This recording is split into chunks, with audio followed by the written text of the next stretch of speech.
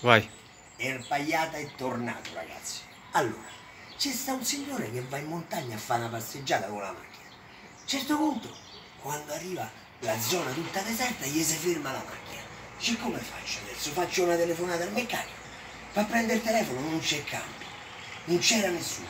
Apre il cofano della macchina, va a guardare dentro la macchina, si sente una voce. È lo spinterogeno. Si gira, non vede nessuno. C'era solo un cavallo bianco con una macchia marrone può essere.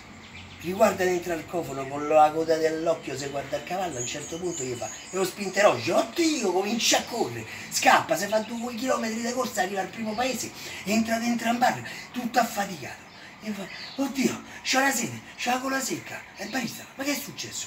Non ci crederai. Ti dico una cosa, tu non ci crederai. Ma dimmi, che è successo? Mi sono fermato in montagna, a due chilometri da qua. Non c'avevo campo.